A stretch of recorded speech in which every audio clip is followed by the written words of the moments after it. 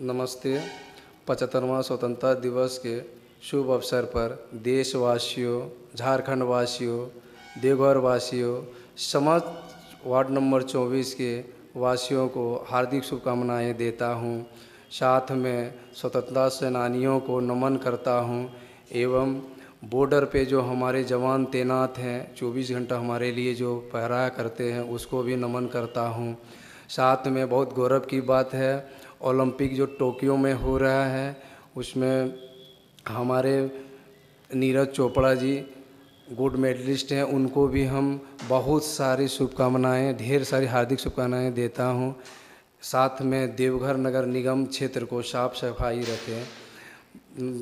जय हिंद, वंदे मातरम, मैं दिनेश कुमार यादव, निवर्तमान वार्ड पार्षद, वार्ड नंबर चौबीस।